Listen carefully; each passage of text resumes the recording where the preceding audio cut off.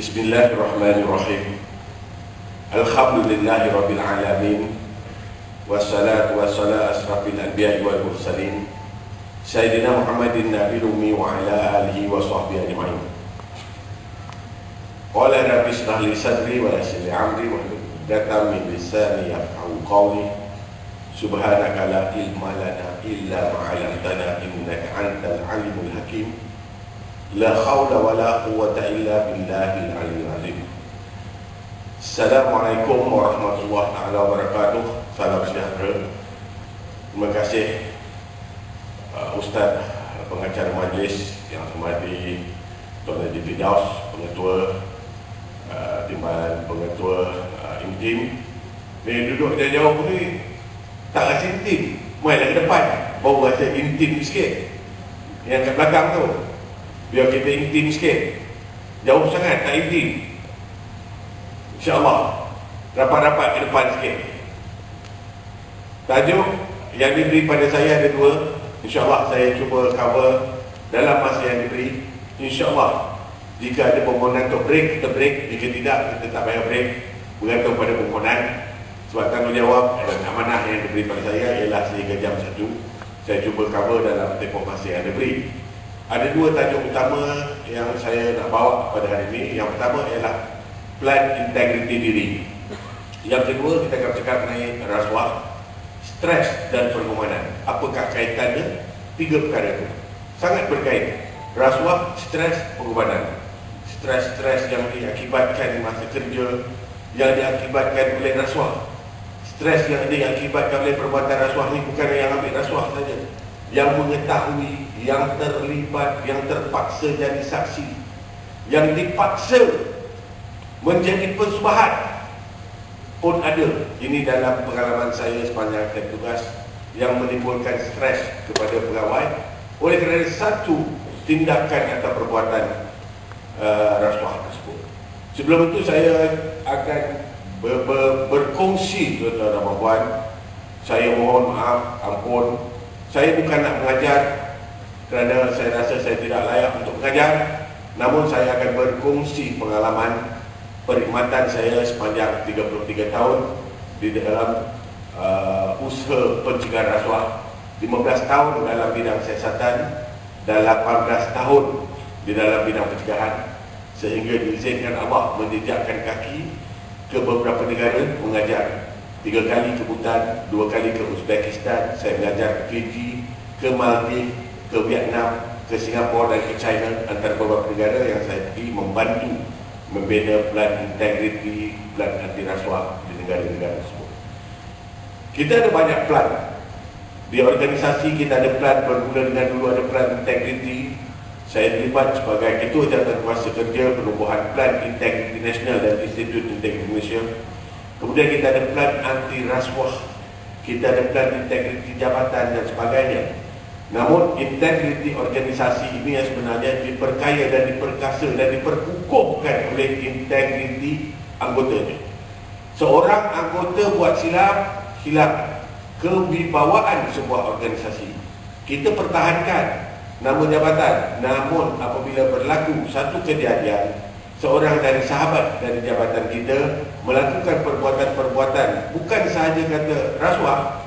Hari ini sebagai anggota perkhidmatan awam apa juga perbuatan kita kalau pakai nama uh, ada logo jabatan di baju langgar lampu merah sahaja pun akan memberi satu kesan buruk ke atas integriti organisasi punya berat ya kira pejabat awam ini diperhatikan diperhalusi dan diteliti setiap perbuatan kata-kata tingkah laku gerak gerik So pada hari ini saya ingin dengan tuan-tuan satu apa yang saya panggil sebagai plan integriti diri. Mudah dia. Kalau kita tengok plan uh, anti rasuah, saya rasa ada beberapa jabatan dah melaksanakan plan anti rasuah. Dia ada tujuh teras, ada 127 inisiatif. Hari ini saya bawa empat teras utama sahaja.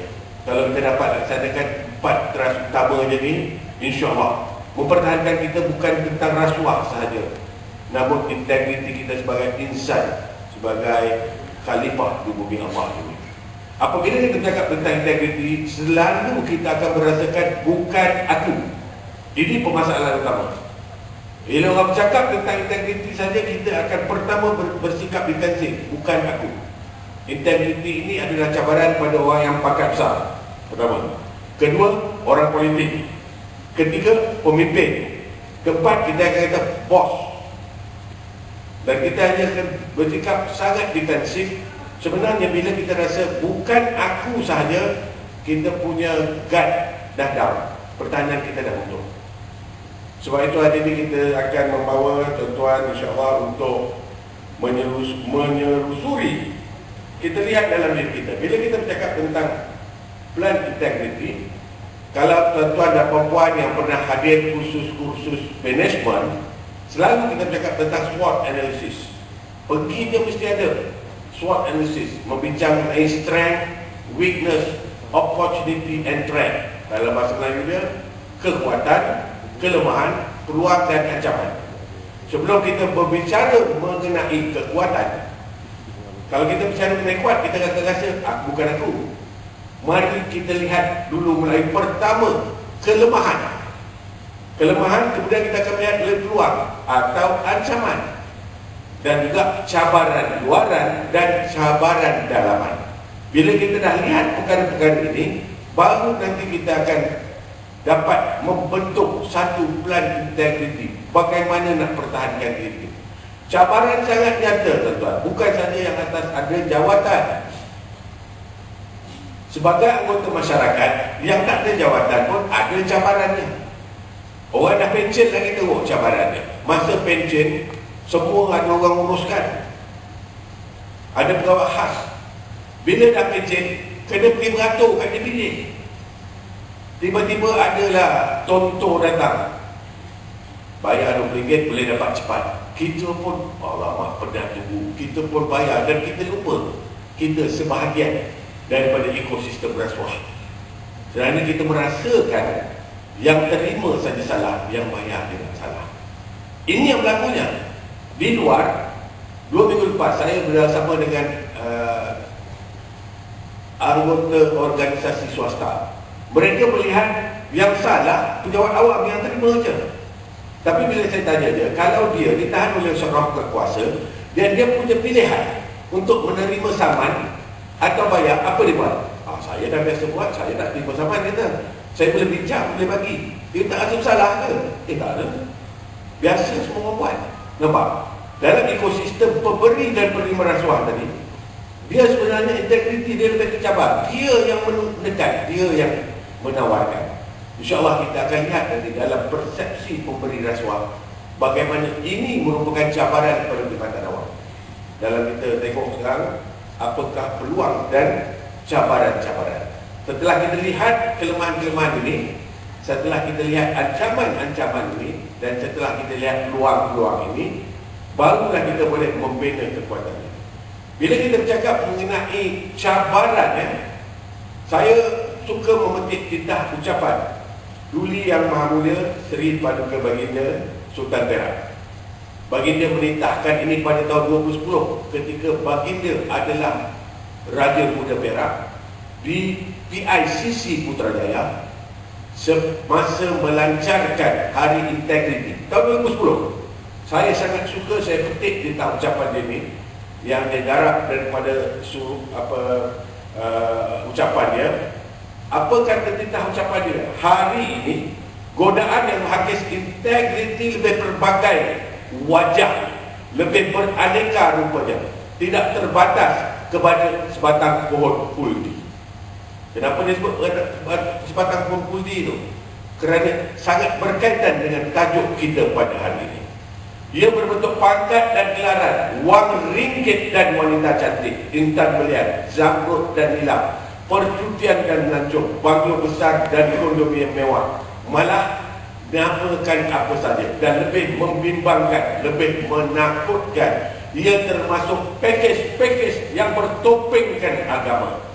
Bermula dari geraian berkepuasa di Hotel Lima Bintang sehinggalah tajar melakukan umrah dan mengerjakan haji.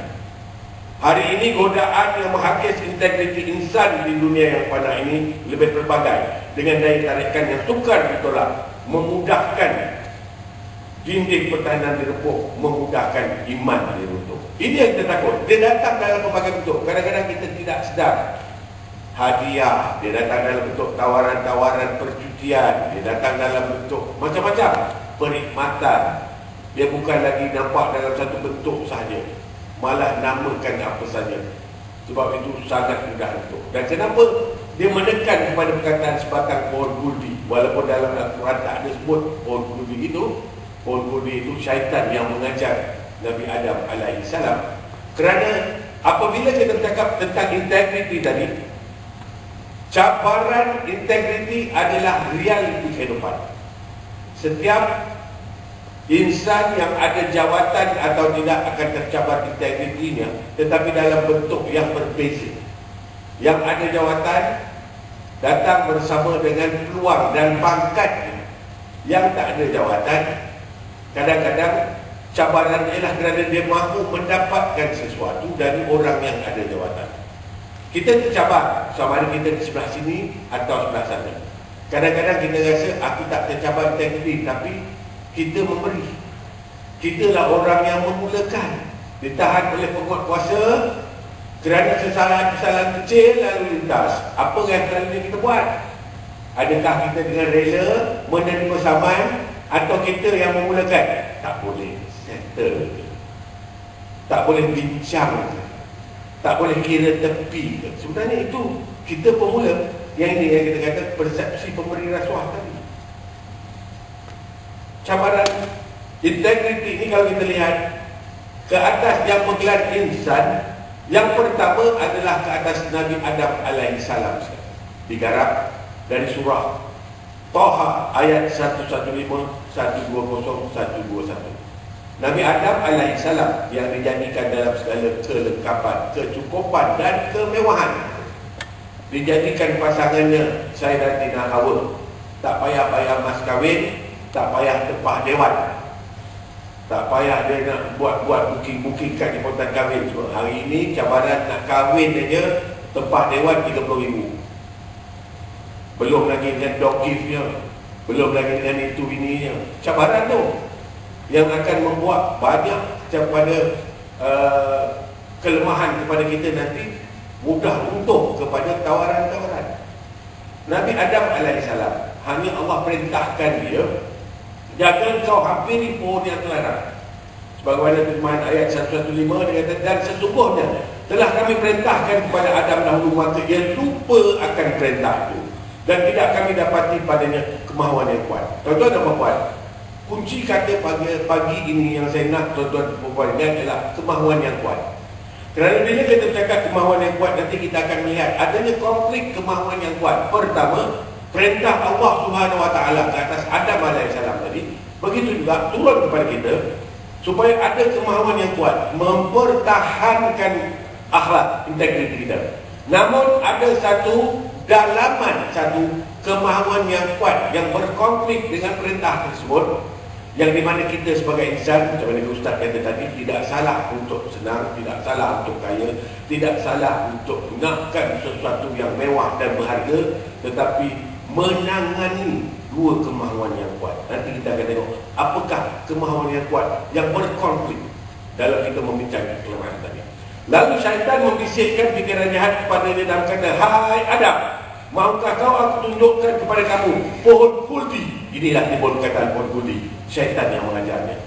Dan kerajaan yang tidak akan binasa. Adam alaihissalam berjaya menolak godaan namun Iblis laknatullah tidak berhenti setakat itu Dia menggoda Sayyidatina Hawa Dan Sayyidatina Hawa memujuk rayu Adam Dan orang lelaki di atas tiga ta tadi Harta, tahta dan cipta.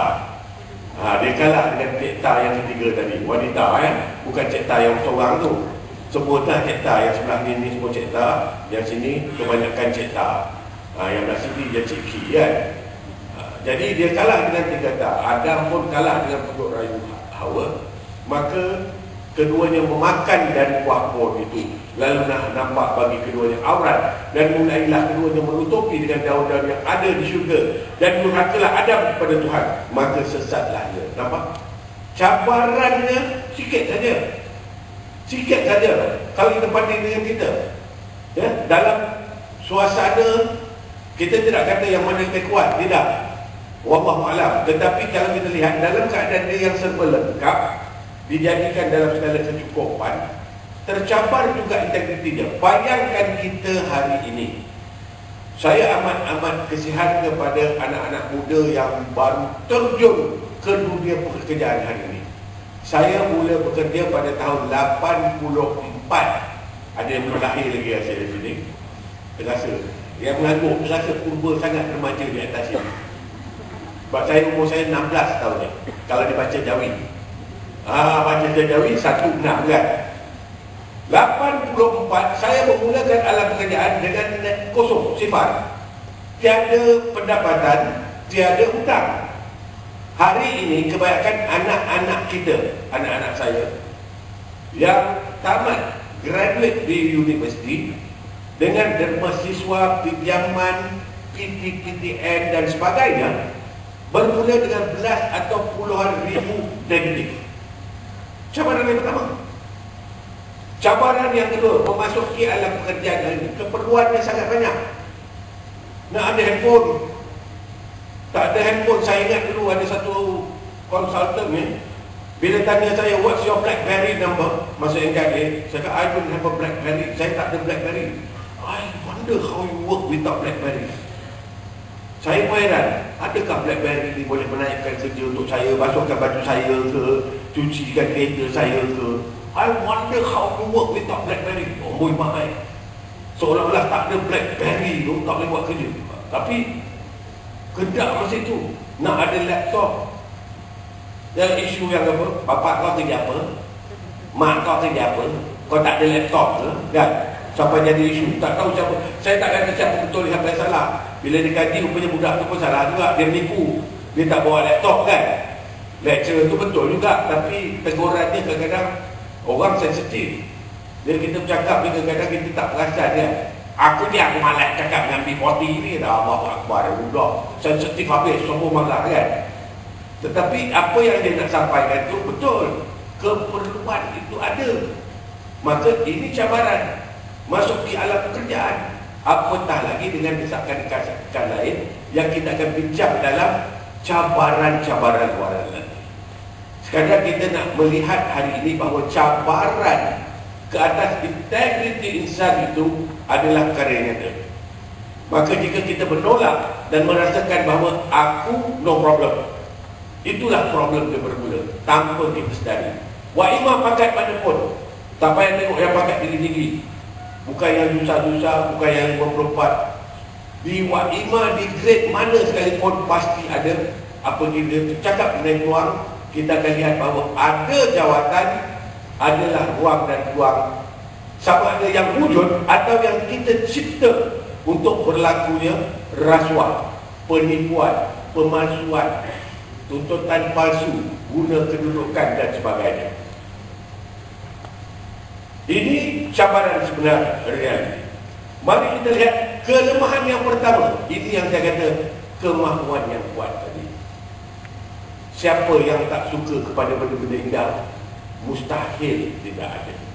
Kerana Allah dah berfirman dalam surah Al-Imran ayat 14 Dijadikan indah pada pandangan manusia Kecintaan kepada apa-apa yang diingini oleh hawa nafsunya yakni wanita-wanita dan anak pinak. Yang pertama wanita. Anak pinak ni dia kemudian sikit. Bila cakap wanita orang, orang lelaki ni dia memang Uh, bohonglah kalau dia tak pernah terfikir atau terniat nak kahwin pada lebih daripada satu. Tak tahu tak, tak, tak ada keinginan kan. Dalam grup pension tu pun nak yang ini pension masuk. Keluarlah. Gurau senda. Tak sedar masing-masing dan dekat sangat dengan pintu kubur. Gurau senda. Uh, keluar balik gambar yang wanita muda lebih tertarik pada lelaki berusia. Oh, kan? Lepas tu keluar pula lagu Siti Nurhaliza. Biarlah berusia bukan biarlah rahsia. Itu gurau senda. Sebab ini tabi'in ini tabi'an ini fitrah kerana Allah jadikan kecerdasan dalam lelaki itu kepada wanita. Dan kepada semua lelaki dan wanita dijadikan kecerdasan dan pemberian harta yang banyak dari emas dan perak. Dan juga kuda yang bertanda lagi telatih binatang ternakan, kebun-kebun dan tanam-tanaman. Kalau kita lihat ke belakangan ini, dalam bongkaran-bongkaran yang dibuat oleh ada polis di Raja Malaysia ataupun Suruhanjaya Pencegahan Tuan Malaysia, akan timbullah di agenda akbar gambar-gambar barang rampasan. Apakah barang rampasannya? Harta dan emas dan perak yang bertimbun-timbun. Sama dalam bentuk wang tunai. Sampai bukan kata ribuan ringgit, bukan puluhan ribuan ringgit, bukan ratusan ribu ringgit, puluhan juta ringgit. Hari ini kalau kita lihat sebut bilion-bilion. Kalau barang kemas, dia tak main utas-utas, dia main timbang kilo. 19.8 kilo.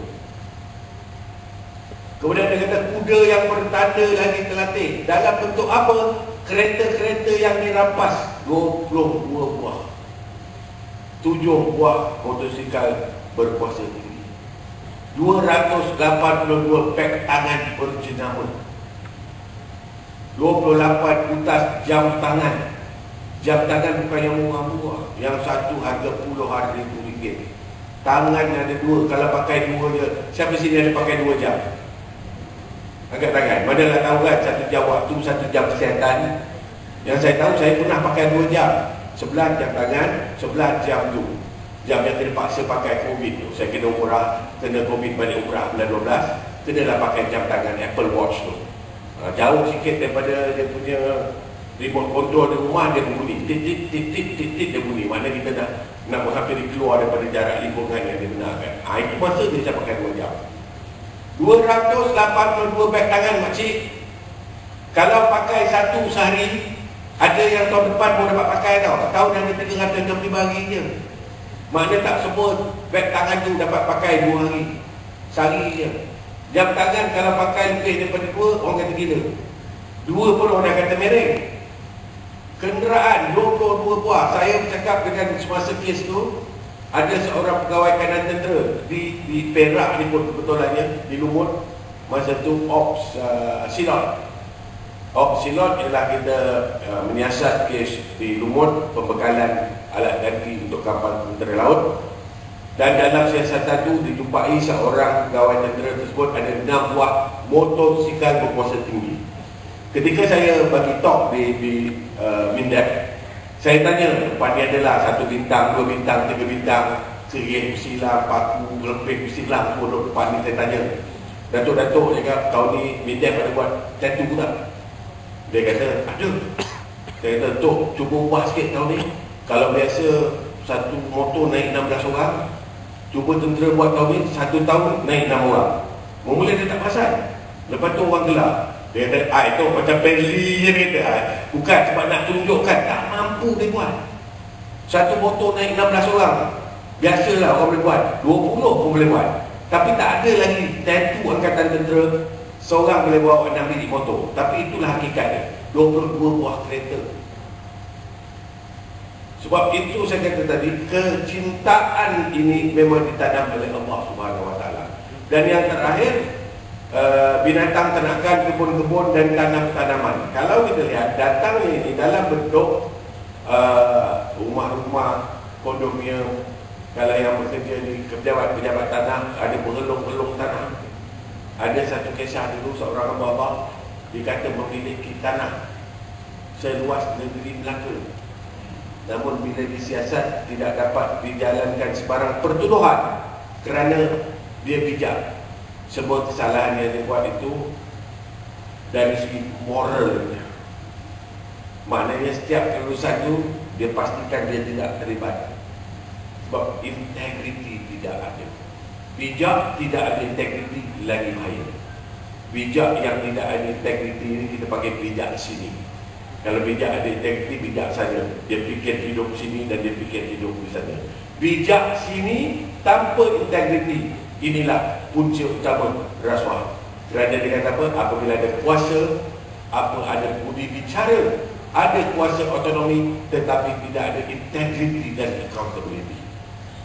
Ada kuasa banyak, tapi bila kita tidak ada rasa kebertanggungjawab, kita tak ada integriti. Integriti ini akhlak tuan Hari ini semua orang cakap tentang integriti, integriti, integriti, semua jadi risau.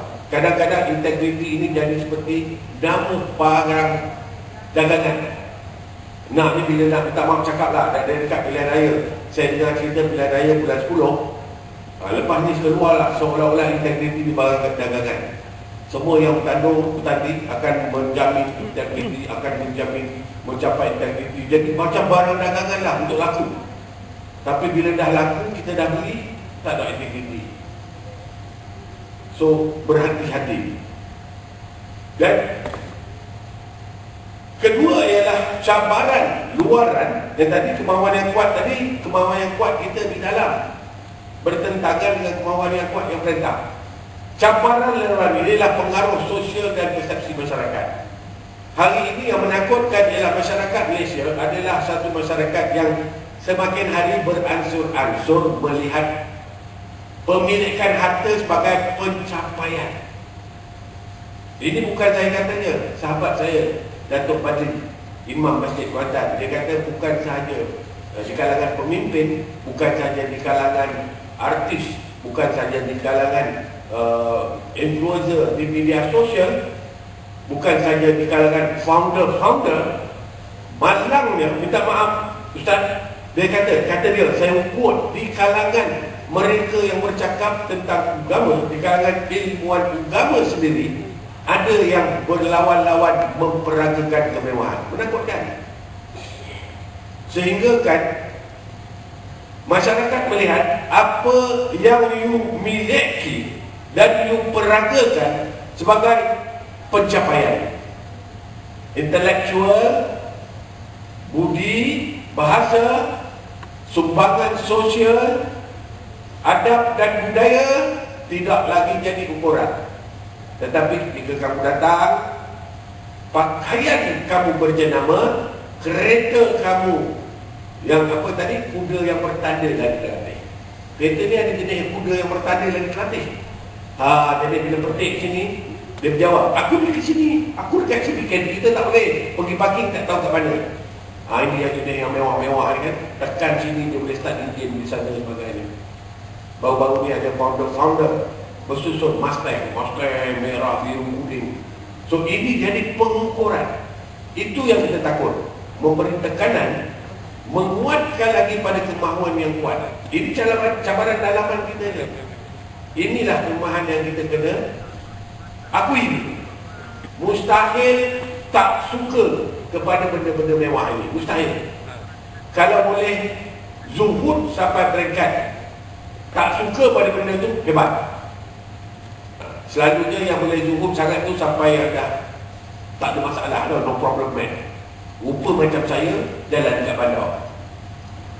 Ha, Rupa macam saya lah Dia tak ada sikap, tak ada jangkutan Jalan kat bandar Tapi baju dia tak kemas macam saya lah. Ha, Itu dia memang tu dah duduk dah Itu dah level lagi tinggi. Level yang kedua ialah Zuhud sedap. Itu zuhud bawah sedap. Ha, Tapi payah. Sangat payah tuan-tuan. Mustahil. Saya peminat motor. InsyaAllah minggu depan Saya tengah berusaha menyiapkan insurans-insurans. Tak bidau lah. Racap berapa. Ha, jadi tentu ada yang nak tahu tu boleh google tengok di mana Raja Prapan. Saya tak selalu masuk Thailand, ini baru kali ke-8. Lalu pergi, saya pergi uh, tak jauh, saya pernah sampai sepadan Laos, sepadan Vietnam, sepadan Myanmar, uh, sepadan-sepadan atas pun dah cover dah. Uh, sepadan bawah ni biasalah durian burung dan sebagainya. Banyak boleh dipelajari dalam naik motor. Paling saya pelajari ialah kebersihan. Integriti ni. Kebersihan dia, tandas mereka.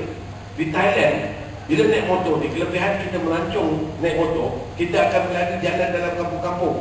Kita akan berlari petrol station, petrol station kecil. Kita RNR yang besar pun kadang-kadang tandas yang, yang sangat otomatik tekan saja keluar air tengah tu tak sempat tekan tak habis kita buang air lagi terundur sikit je lampu tu dah detect dah kerak wah air dah keluar kan pun masih kotor di sana tandas yang duduk ada bola ada kayu plastik curah tapi kita nak masuk insyaAllah tak perlu bersihkan dah pakai pun bersih Kat Malaysia kadang-kadang kita masuk bersihkan dulu baru boleh gunakan. Banyak benda saya pelajari. Di Thailand ni kita kalau kata jalan dia sangat baik. Tak ada macam kita ni lobak. Tu dia melengkuk-melengkuk elak lobak. Banyak benda boleh pelajari bila naik motor bagaimana uh, Imam Syafi'i kata berantau lah. Kerana dalam merantau banyak kita boleh belajar. Baik. Uh, jauh sangat ceritanya tadi. Uh, tetapi Balik kepada topik kita tadi Pengaruh sosial Kedua ialah persepsi masyarakat Cabaran ni Cabaran luaran Cabaran dalaman kita ada ni Pertama ialah desakan kehidupan Keperluan yang banyak Kedua ialah kecintaan kita pada perkara-perkara yang disenangi oleh Allah untuk kita Ketiga ialah tadi apa persepsi masyarakat yang nak mengukur kita Jam apa yang dipakai Kadang dia tengok kasut, kasut apa yang dia pakai. Tudung, eh eh tudung kelama je. Orang semua dah pakai siakap bawal, kawan pakai kelama je lagi kan. Eh, tak ada awning, kita dah ada awning dah kan. Nah, macam itu. Semua ni betul. Orang perempuan lagi berat macam ni tuan-tuan. Orang lelaki dia lain sikit. Orang lelaki saya ingat lagi. Uh, sahabat saya, uh, Sabtu depan kata apa, orang lelaki, uh, siapa sini pakai seluar satu hari dia tukar. Ada tak? Ada? Tak cukup kelakian dia.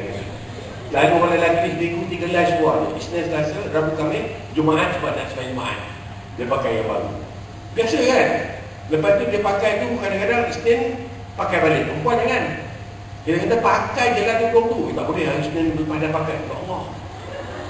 Jadi dah Jumaat minggu depannya dia boleh ingat hari Isnin dia pakai. Ha, itu memang dia, dia punya dia punya kelebihan lah. Orang lelaki buat pakaian ni sangat mudah saya kadang isteri saya tegur asal pergi lecture inilah baju inilah seluar. Awak tak segan balik-balik pakai baju ini eh bukan aku pakai tak basuh-basuh. Kalau dah 3 bulan aku pakai tak basuh lah. Kan baru dia pun dah berbah kan? Tapi ini memang dia punya uh, kita kena terima kedua ialah persepsi pemberi rasuah ini cabaran macam saya kata tadi the perception, the bright payers perception. Dalam kajian sosiologi, apabila kita ada jawatan, maka akan ada orang yang berkepentingan mahukan sesuatu dari kita. Dan bila dia mahukan sesuatu daripada kita, dia akan sentiasa beranggapan, you can be bought, kamu boleh dibeli. Sekadar kan dia kata, dia nak mencari harga sahaja. Every man has a price. Setiap orang ada nilai. Nilai mana yang dia boleh beli. Dan mereka akan terus mencuba. Ini satu persepsi yang sangat menyakitkan. Kadang-kadang dalam kaum keluarga kita sendiri. Dapat aja kerja, contoh, terlatih jadi ahli majlis daerah. Terus kata, wah senang lah besok. Ada peluang lagu kan. Ada ada kontrak bagi datang. Itu yang dia kata dulu. Maknanya dia minta kita yang ada jawatan ni nak sesuatu dia nak daripada kita sesuatu. Itu yang ada pertalian. Yang tak ada pertalian, dia rasa dia akan pilih kita. Ini persepsi. Jika tuan-tuan duduk di jabatan, mana-mana jabatan, terutama yang berisiko perolehan. Minggu lepas saya dengan perolehan marah uh, di KL, saya tanya, siapa yang di sini yang merasa diri mereka tidak ada risiko? Tak seorang bawa pertanyaan. Sebab sangat berisiko. Sebab bila di perolehan ni, semua orang tahu you ada benda yang saya nak. Saya ada kepentingan dan saya akan cuba test you. Uji you. Tengok apa yang you suka. Tengok bila masa yang perlu. Kedua ialah setiap orang ni pula, kita ni ada the threshold of patience. Ambang kesabaran. Kadang-kadang kita berjaya menolak. Kadang-kadang masa tersebut buat kita jadi kuat. Tapi ada masanya yang kita lihat sebagai peluang adalah ancaman sebenarnya. Kita takut ketika tawaran itu datang, kita terdesak, kita kesempitan, kita ada masalah ruangan dan sebagainya, ataupun yang ditawarkan itu melepasi the threshold of patient kita. Kita sabar jika ditawarkan barang kecil atau kita sabar jika ditawarkan barang yang kita tidak minat. Dari kisah benar, semasa saya menjalankan siasatan, seorang hamba Allah yang bekerja di lembaga hasil dalam negeri.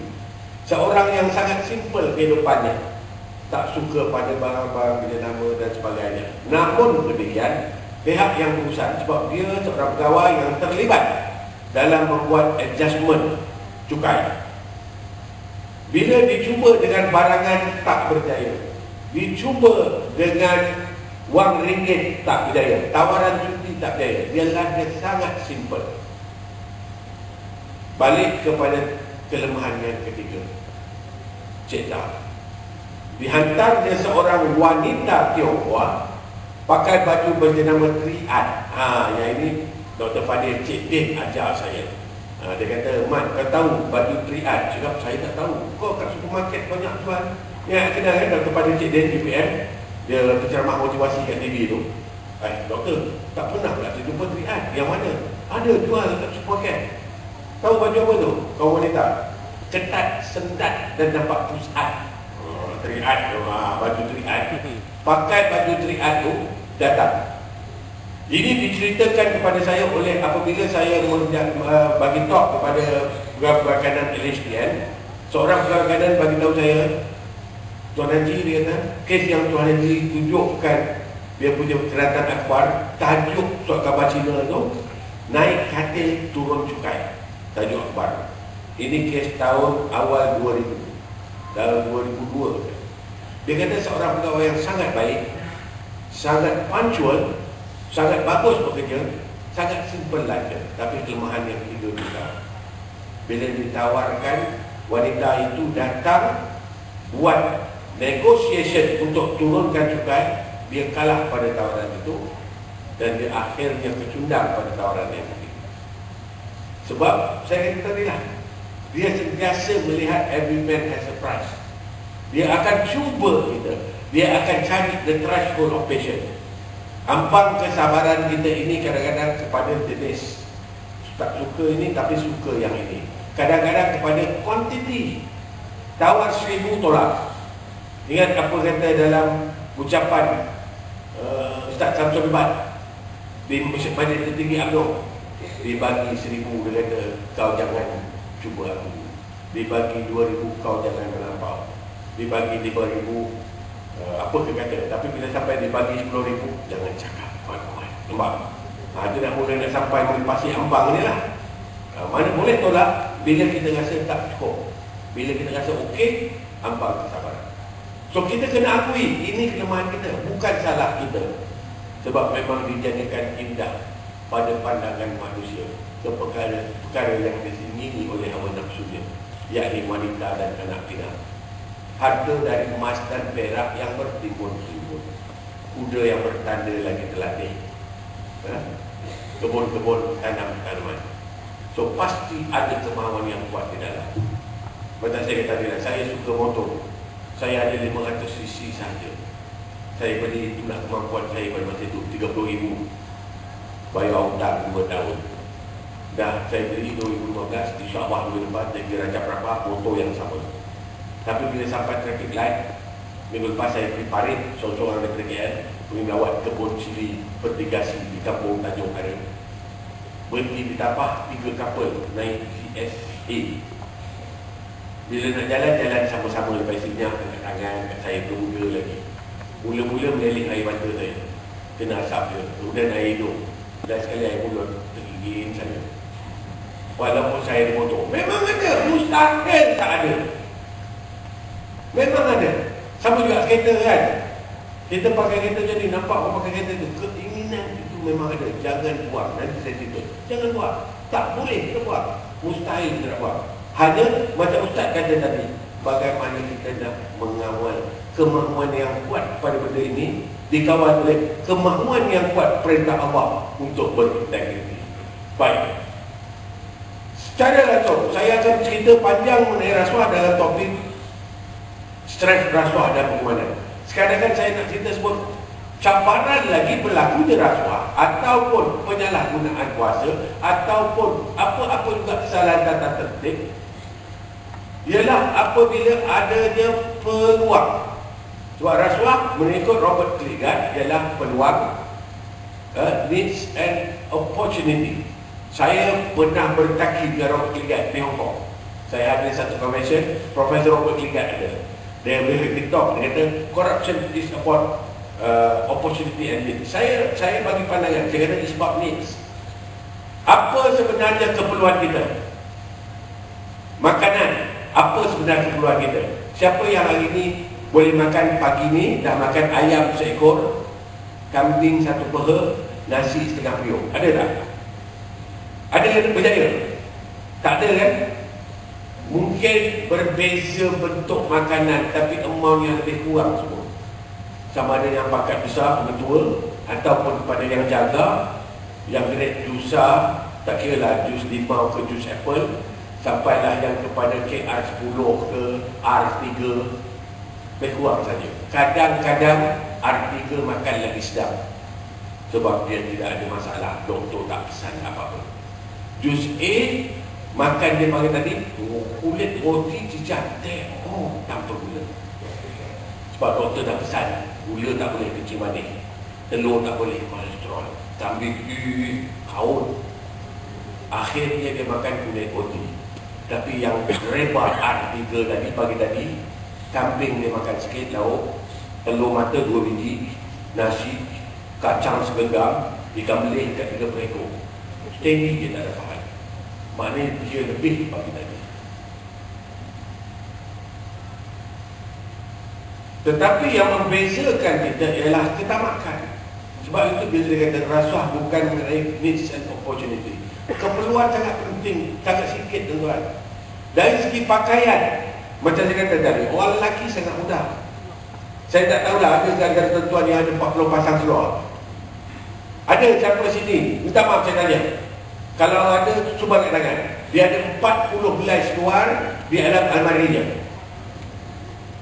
Sebab saya nak tanya ni, sebab saya nak cerita dengan tuan Saya pernah dalam satu kes siasatan Jumpa seorang anggota penguat kuasa yang berdiri di uniform Macam abang-abang handsome kita yang sedikit kan Maknanya bila bertugas kebanyakan masa pakai uniform kan Jarang dapat pakai seluar Bila buat bongkaran di rumahnya Saya temui 40 helai seluar berjenama Yang mahal-mahal Yang dibeli di Singapura sebab kes ni berlaku di Johor Yang kebanyakannya tak dibuka dengan plastik lagi.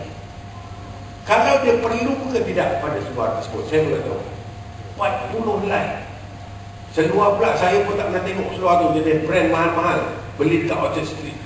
Tetapi itulah kegemarannya Dan nak menyelesaikan kes Dia tak nak duit Dia nak belikan dia seluar Levi's lah Apalah segala jenis mahal-mahal Mana Bukan keperluan, keperluan sangat mudah tuan-tuan. Orang lelaki keperluan sangat mudah. Kalau dekat rumah, keperluan utama dia dua saja. Kain berikan, t-shirt pagoda. Uh, kalau musim padas, t-shirt pagoda tu sangkut dekat kursi je. Bini tanya ni nak basuh tidak? Uh, biar saya dululah. Besok-besok boleh pakai. Tak pakai lagi. Dia standby kalau ada orang datang. Tak ada orang datang. Musim panas ni, kain berikan saja. Lain optional. Sedalam pun optional saya tak panggil seluar dalam sebab dia bukan seluar dia sedalam kan dia dalam duduk di luar Superman pun tahun 2021 tu dah pakai di dalam dah dia tak pakai di luar dulu Superman pakai dia di luar sedalam kan keperluan sangat mudah tetapi ketamakan membuatkan seorang insan memiliki seluar sampai 40 keperluan tak ada sebab dia pakai uniform. Kisah benar. Bila saya bongkar rumah dia bukan nak cek seluar Ustaz. Nak cari dokumen dan duit yang dia suruh. Bila yang kami temui ialah pakaian berjenama. Dia kalau tak tahu pakaian jenama ni cuba baca brandnya kalau susah sebut mahal kalau dia kata John Master wah pergi kat corporate ada kan tapi kalau nak sebut terlihat dia tak saya dia dia dia pakai sini ih sini lepas tu kita baca-baca kita sebut tak betul digelak bisnes ke ada jual tak beg tangan Saint Lacroix? Lari kat belakang kita. Pakcik tu kampung teruk jakun benar. Ada ke disebut beg tu Saint Lacroix? Sebutan dia kena ada idram ma'al unah. Masuk dalam itu. Saint Lacroix. Lacroix ada. Ha, Maharash dia dekat sini. Ha, macam itu sekali. Lepas tu eja lain sebut lain. Bulgari. Bulgari kan? Ha, itu mahal. Siapa juga macam beg, beg tangan. Minggu lepas saya uh, berjanji dengan MPS sebab saya datang dua kali itu yang ketiga nak cerita pasal baik tangan bizain tu bijan kan kita sebut bijan kalau sebut bijan dia gelap tak ada tak boleh sebut bijan kena sebut nampak kita tahu dia bizain ha, dia goyang kepala kan kerana di uh, pereka tu adalah bizain perasaan ujung kan saya cerita tentang efek bizain ni ha, efek bijan ni kenapa harga dia 900 ribu sebab tak ada dalam slide. Ujung kan saya janji. Kalau tidak kena panggil saya semula macam ni baik. Yang ketiga adalah rasionalisasi. Yang ini paling bahaya tuan-tuan. Dia bermain dalam kepala kita sahaja. Kita sentiasa beranggapan orang lain tuan. Nampak Tuan Haji pakai bermewah sikit. Ni mungkin dia ni ambil ni. Ada buat, buat ni ada procurement ni. Mungkin dia ada li ni. Dia dapat untung ni. Kalau tidak takkan dia mampu beli. Kita rasionalisasikan perbuatan kita atas tindakan orang lain. Nampak kawan sepejabat yang gaji lebih kurang dari kita Mampu pakai jam tangan mewah Kita pun kata, mesti ada buat sesuatu ni Kalau aku tak buat, rugi Ataupun dia beranggapan sentiasa Bos buat, kenapa aku tak buat. Rasionalisasi.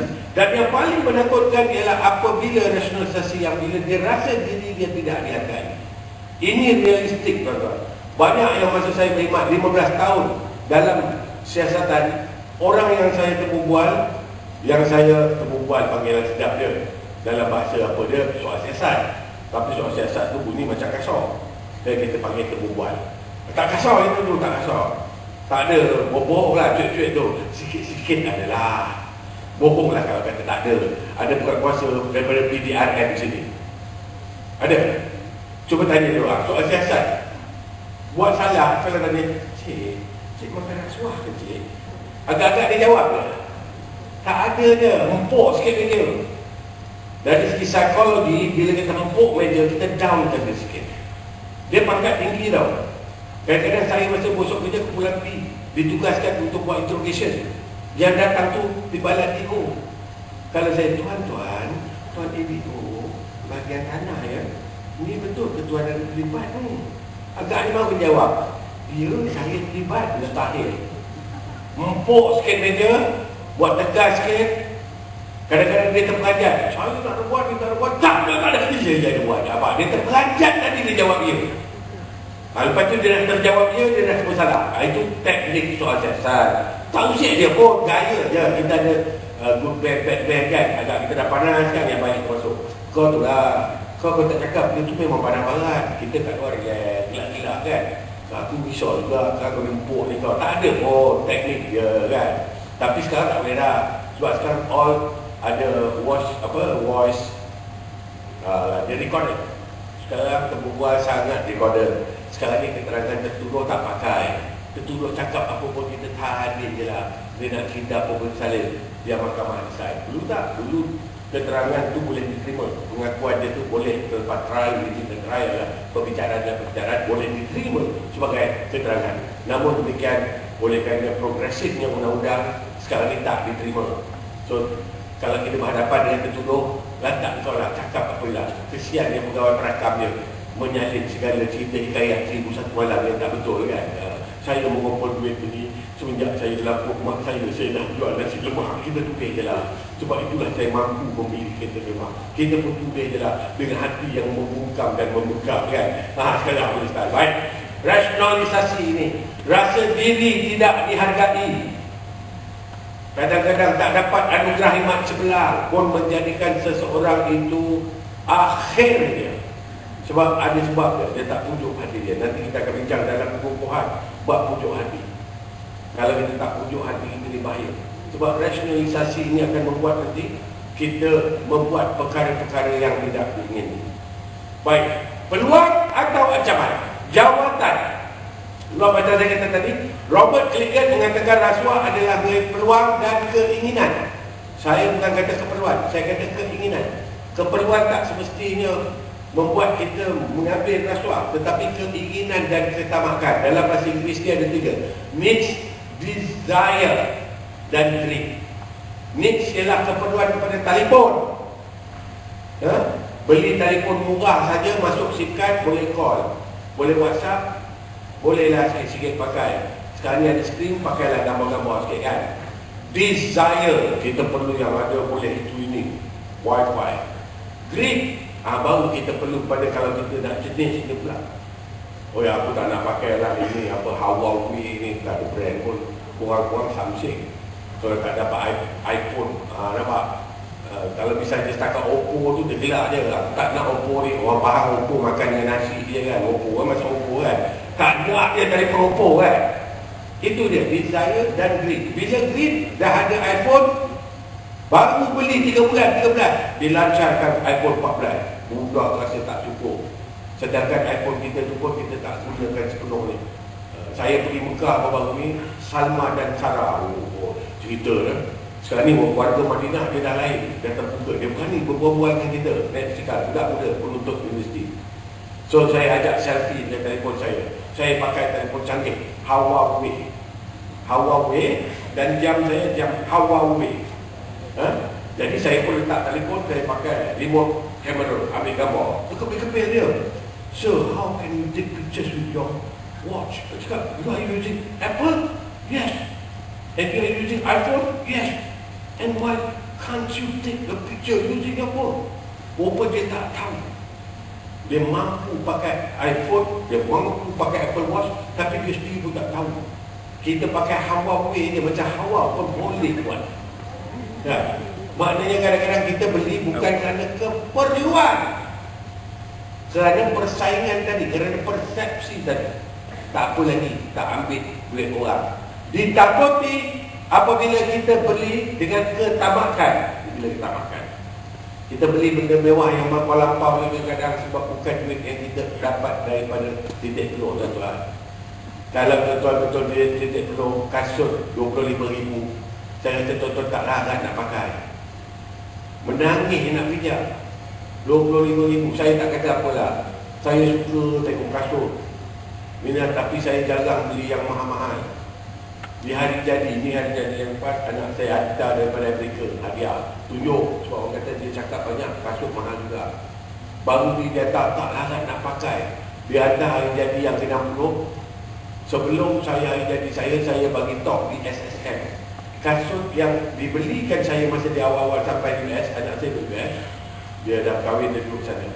Saya nak turun pentas ni Ustaz Lepas ni Datuk Azmah CEO SSM Suruh dia saya kat Malaysia.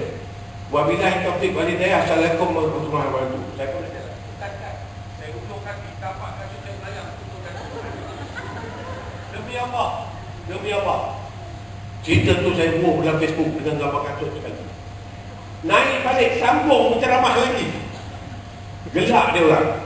Bila saya letak Facebook Anak saya hantar sebuah pasal kasut. Bini kata kasut ni bila nak pakai? Nak mencari occasion nak pakai. Timberland Wallah malam nak beli berapa? Tapi bila saya tengok tag kat situ 860 Tak larat saya nak pakai letak kat kaki. Rasa macam besar ha? Kita, kita. Apa tak lagi dengan gaji kita Tapi jawab saya tak nak sebut nama sebab kan Orang lain pakai lain kan Jam baju, tuan-tuan sendiri boleh tengok kan Saya tak kata apa Kalau mampu beli, macam Ustaz kata tadi Kemahaman yang kuat kita ada Belilah, pakailah. Tapi saya nak tanya, kalau dengan duit gaji kita sendiri, harga 2-3 ribu nak letak kat kaki mustahil. Yang kita dapat dengan mudah, itu yang kadang-kadang. Dan apabila kita mendapat jawatan, kita melihat diri sebagai tuan. Macam saya kata tadi, kadang-kadang kita tidak saudara mara, sahabat andai. Dilatih dari Haji Majlis Daerah. Terus dia tu, ada peluang ni. Eh besok jangan lupa kalau ada peluang, ingat aku. Nampak? Dia dah melihat bahawa jawatan tuan-tuan tadi sebagai peluang. Sebenarnya tuan-tuan dan puan kena ingat, bila datang jawatan ini, inilah ancaman yang pertama. Kalau kita lihat sebagai peluang, dinding pertanian kita belum apa-apa dah untuk. Inilah ancaman. Sebab itu, kita kena berhati-hati. Sebab keinginan dah ada dalam hati kita ni. Kalau benda ini datang, kita lihat sebagai peluang, kita ambil dia sebagai peluang, maka kita akan terperangkap dengan persepsi pemberi rasuah. Kita akan terperangkap apabila kita the threshold of patient dilanggar. So, apabila berjawatan, apa juga bidang tugas, pasti ada kuasa boleh bicara. Jangan ingat, oh ini kalau ada yang cakap, ini bos dia, ini uh, EO dia, uh, ini EDO dia, aku setakat grade 17. Yang main di Putrajaya, seorang PP grade 17 yang menguruskan perolehan kementerian, bajet kementerian ini juta-juta, setelah beberapa tahun di audit, rupanya memiliki sebuah rumah di Presin 18 IMFA yang dibayar melalui nama satu syarikat tapi milik dia. Bila buat payment-payment tu ada satu payment pada syarikat tu. Tiap-tiap bulan ada di payment pada syarikat tu syarikat tu akan bayar rumah kes yang pertama. Kes yang kedua seorang grade juga juga seorang pembantu takbir. Setelah disemak dah beberapa tahun melancong keluar negara. Silap dia letak kat Facebook lah oh Facebook melancong ke Bali tahun depan Maldives tahun depan tiga negara setan. Negara jin dan negara setan. Kan? Lepas tu letak kat Facebook. Selfie lama-lama orang berheran. Rupanya melalui word kerajaan. Ada cara yang bila dia buat tiket terbangkan untuk keluar pegawai tu dia akan bayar lebih. Cukup berapa bulan cukuplah package untuk keluarga dia saya tak nak cerita yang besar-besar yang besar-besar tuan-tuan baca sendiri lah yang besar-besar sekarang main bilion-bilion. Kadang-kadang saya rasa sebab apa yang dekat dengan kita yang kecil tu tak apa Yang cekik tulang lembu, tulang ayam, tulang kambing jalan. Yang cekik tulang ikan. Apa nak lagi ikan kecil-kecil. So yang kita yang kecil-kecil ni selalu makan ikan kecil. So risiko untuk kita ketulangan lebih besar daripada yang makan besar-besar. Yang makan besar-besar tu mengenal lepas saja. Kadang-kadang yang kena ialah kambing-kambing yang dicat hitam. Tak maaf lah, saya cakap memang kasar. Orang panggil, silap lah siapa panggil. Dah lah yang dipanggil lain, dia datang lain. Tu Haji Fidaus kata tadi, dia orang berjerat, dia panggil lain, dia datang lain. Dia ceramah silap tu kot. Dia panggil handsome tadi tu. Yang datang orang tua lah dia. Baik. Saya nak cuba lagi ni, nak habis. Nak berhenti kan, ke sebelas. Baik bentuk-bentuk suapan ini sekali lalu Sekarang saya akan kupas dalam rasuah dan semua Sekadar saya nak tunjukkan bahawa inilah tadi Benda-benda yang disenangi senangi oleh hawa nafsu kita. So benda-benda yang payah untuk kita tolak tuan-tuan. 25 juta, 52 juta. Barang kemas 19.8 kilo 22 buah merah Bukan benda yang senang ditolak. Kalau benda senang ditolak Maka cabaran itu tidaklah realistik. Tetapi benda-benda yang kita lihat sebagai peluang namun ialah ancaman dan benda-benda itu kita ada kemahuan yang kuat. Sedangkan kita diperintahkan kemahuan yang kuat untuk pertahankan integriti kita. Terlalu banyak konflik apatah lagi dengan persepsi masyarakat dan sebagainya.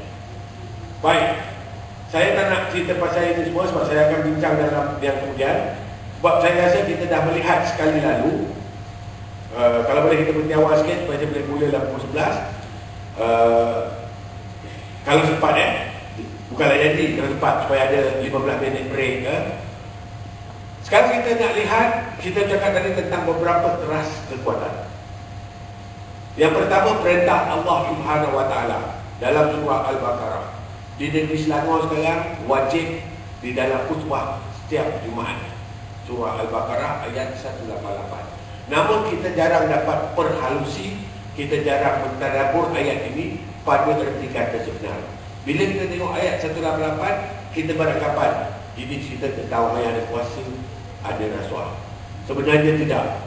Pada perasa yang pertama ayat wala taqulu amwalakum bainakum bil batil. Dia kata apa? Janganlah kamu makan atau mengambil harta orang lain di antara kamu dengan jalan yang salah. Dia tak cakap pasal kuasa, dia tak ada cakap dengan pangkat. Dia cakap yang pertama yang tadi ialah ambil hak orang. Paling mudah hari ini ialah yang kita gagal laksanakan bagi mereka yang naik motosikal. Saya tak tunjuk orang, eh. saya tunjuk diri saya. Sebab saya tercabar hari-hari. Saya kalau bergerak di KL, minggu lepas saya datang pagi pun saya naik motor. Ini sebab isteri nak mengikut, kalau tidak saya naik motor je datang. Uh, sebab saya suka, saya lagi Balik ni kan gua terpurung mesti diam dia. Minggu lepas saya balik dengan kawan saya dia naik kereta, saya sampai 1 jam 15 minit lebih awal. Dia naik kereta sebab gua terpurung dia. Ha? Tetapi cabaran yang pertama orang naik motor Saya tanya dulu, ada sini abang-abang, abang-abang kali, adik-adik yang bawa motor pergi kerja? Atau yang suka bawa motor? Ada. Mak tanyalah, minggu ini, mulai pada Isnin sampai ini, berapa kali dah langgar lampu merah? Ha, banyak yang geleng. Tak apalah kita rasa bagus. Namun demikian, hakikat hari ini kita lihat mereka tidak rasa bersalah langgar lampu merah. Tapi kalau kita balik lihat kepada ayat ini tadi wala taqulu amwalakum bainakum bil batil memang tidak ada sampai harta orang. Tetapi yang sebenarnya hak orang. Dan dalam merah tu kita ambil hak orang yang hijau untuk jalan. Permulaan pertama ni nak bina kekuatan. Tak usah cerita lagi tentang nak menolak tawaran RM50,000. Yang lemah dulu. Kemudian di pejabat, ada tak minggu ni terambil barang-barang pejabat? Kertas ke, pen ke, macam-macam yang buat dropship tu, yang jual tudung-tudung, tampal-tampal muka, ada tak pakai waktu pejabat? Pakai internet pejabat? Nak buat-buat dropship ke, ataupun nak cakap dengan downline-downline ke? Yang lelaki ada tidak browse-browse print jalan nak pergi ke Raja Prapa, Panga dan Kulanta. Sikit dia tu, kecil dia dulu. Sebab kita nak bina kekuatan tuan Kita tak boleh cakap bila nak bina kekuatan Orang yang bina badan tu Dia tak perlu angkat 15 kg Dia boleh angkat 2 kg ya. Minggu depan baru boleh tambah 4 kg 6 kg So nak bina kekuatan Kita berbalik pada yang pertama Wala taklu amwalakum bainakum bil batil Mulai hari ini Mulai saat ini Jangan ambil sesuatu hak orang lain. Tak ada ambil orang lain dengan jalan yang benar. Ayat tu komplainnya dengan jalan yang salah. Saya tak nampak lagi keadaan di mana saya ambil orang lain tapi dengan jalan yang benar. Dekat Malaysia kelemahan kita itu lah. Mengambil hak orang lain. Sebab itu kalau kita tengok lori terbalik. Tahun ni rasanya belum lagi Ustaz. Ada Ustaz baca? Ada kan? Kalau tidak lori terbalik, susu Ikan Apa lagi Tapi dekat Seremban baru ni saya semua Tahun 2021 dekat Seremban Lori terbalik Muatan bertaburan di atas jalan Tidak ada diambil orang Semangat saya Alhamdulillah Malaysia telah mula menjadi seperti pun Negara berintegriti Baca peringkat kedua Muatan tersebut adalah Khinzir Khinzir Ah, babi Sebab itu saya bercakap di TV Beberapa tahun lepas marilah kita meningkatkan kebahagiaan rasuah. Minta maaf lah kalau ada yang bukan Islam. Saya kena bagi saya punya disclaimer. Jika tuan bukan agama Islam, agama dan kepercayaan tuan membenarkan makan babi, enjoy yourself. Ha? Kita tak perlu jijik pada babi sebenarnya. Dulu saya nampak babi, saya tu geli tak tengok babi. Geli sahabat saya dulu, saya dulu suka kerja estate. Saya lulusan diploma pertanian. Tuan dia tanyalah macam mana saya pergi sampai ke hutan di Uzbekistan cakap tentang integriti. Saya belajar di pertanian. Saya pun masih heran macam mana saya bekerja. Saya bekerja di estate, minum lepas kerja. Kawan saya yang berbahasa Melayu, agama Islam, minum orang. Melintas babi masuk kedai, dia melompat naik atas meja sampai tegar gelas Arab. Saya cakap, apa pengen lah, wih, Arab, wih, macam apa beza keharaman barak kau minum dengan babi yang lain? Kenapa orang itu sangat biji? Anjing, babi. Tapi agak dia minum. Rasuah dia berbincang kerja. Dia berapa komisi depan. Dia tak gili kan? So kita kena tingkatkan doktrin benci kepada rasuah atau sebarang benda yang penyalahgunaan kuasa, penyelewengan, tipu dan sebagainya. Macam kita benci kepada babi. Sebab dah doktrin tu babi jijik, babi jijik. Saya Ustaz dulu lalu kedai nampak kau jual babi, muat tekak. Sehinggalah satu hari seorang bapa dia ni biasa dia suka sufism. Dia suka baca buku Rumi. Dia suka pada perkara tasawuf kan. Dia kata tak baik kalau dah dapat babi. Saya kenapa? Saya tak terfikir kenapa. Sebab kita dah doktrin dia ajar babi yang jijik.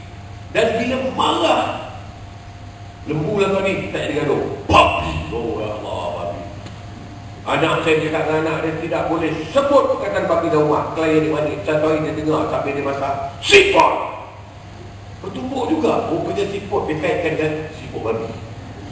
Tak payah siput babi, bawa siput siput saja bertumbuk.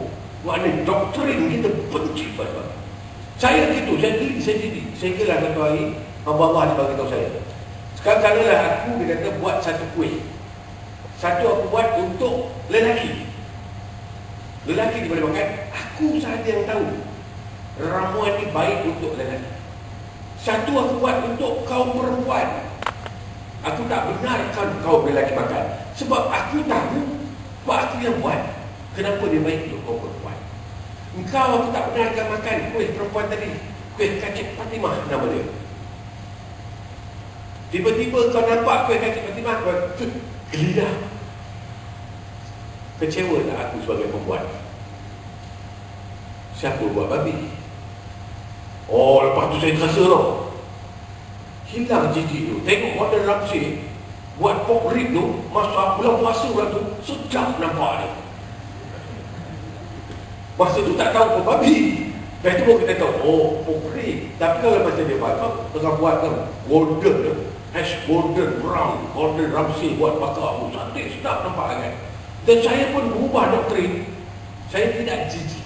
Kita tahu dia. Tapi kalau doktrin yang sama kita boleh tanam. Bila sebut rasuah saja, mana kita berjaya nak meningkatkan kebahagiaan. Supaya kita dapat nak jauh daripada dia, kena benci dia dulu. Kalau tidak ada rasa jijik, tak ada benci, kadang-kadang sambil makan ni, boleh bincang tentang berapa kongsi.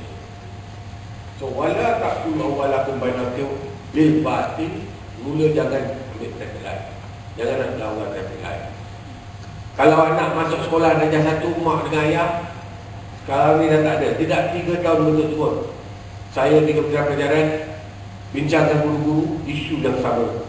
Ibu bapa pergi sekolah waktu kantin berbuka waktu makan duduk di kantin ibu bapa duduk kursi anak-anak. Ada berlaku kat sini wallahualam jadi kursi bench tu buat enam orang anak murid. Tetapi orang kata anak murid dia duduk tengah, bapa dia duduk sebelah, ambil dua tempat duduk. Untuk budak kecil, mak dia lagi besar, tiga tempat duduk. Akhirnya, lima anak murid duduk tepi longkang, tak ada kursi, dia tak rasa salah. Tetapi yang sebenarnya dia mengajar anak dia, tidak apa ambil hak orang sebab kita besar. Sebab kita ada kuasa. Besok anak-anak dia puasa lagi teruk. Langgar lampu merah, kita anak kita di belakang. Kita ajar dia tidak apa dia Takut nanti kita dah lepas anak-anak kita pula dah terbiasa dan apabila anak-anak kita menjawab jawatan dia pula yang akan melakukan perkara. So mulai hari ini insyaAllah kita tanam satu tekad bermula dengan di pejabat janganlah pihak orang lain. Masa pun kita juga Kadang-kadang kita tak perasan, kita datang lewat. Apatah lagi kalau kita pengurusi mesyuarat. Apalah sangat datang lewat 10 minit. Tetapi ahli mesyuarat 20 orang. Kali 10, 200 minit. 180 minit, 3 jam. 200 minit, 3 jam, 20 minit. Waktu berbayar yang kita bazirkan. Kita tak rasa faham. Tetapi kalau kita nak, cuba kita cakap ini atas pelan intens. Sebab bila integriti ni tuan dalam sesi kedua kan saya dah cerita banyak tentang integriti. Sebab integriti ni perkataan yang sangat mudah disebut tuan. Tetapi yang sebenarnya penghayatannya kita kena bercakap tentang akhlak. Dia bukan macam etika, adab. Adab bergaya je tuan. Duduk adab memberi ceramah. Tangan tidaklah letak di tempat tertentu. Cik, bagus letak sini. Jangan tergaru-garu dan sebagainya Tapi kalau perlu Create cover story Saya semalam menebah di belakang rumah mak saya. Saya tak tahu rupanya pokok keladi buka-buka tu Kalau kena tiga hari gatal kan? Ha, Tapi nampak beradab Bercerita sebenarnya gatal. Contoh Kalau kami tak cakap apa Tuan-tuan Integrity ini nampak tak beradab. Tapi sebab bercerita tadi Ada cara dia. Itu kita takut. Beradab tapi menipu. Ha, yang itu kita takut. Orang yang dapat beretika tetapi tidak berintegriti. Akhirnya kita terperdaya dengan